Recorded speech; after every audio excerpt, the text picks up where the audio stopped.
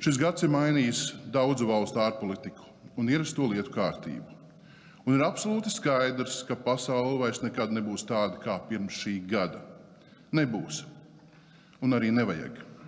Bija pēdējais laiks ieraudzīt Krievu pasaules patiesības bez grīma un pūdera.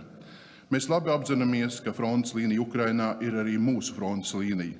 Tādēļ būsim vienoti savas valsts iekšējās un ārējās drošības pilnveidošanā un arī atbalstā Ukrainā.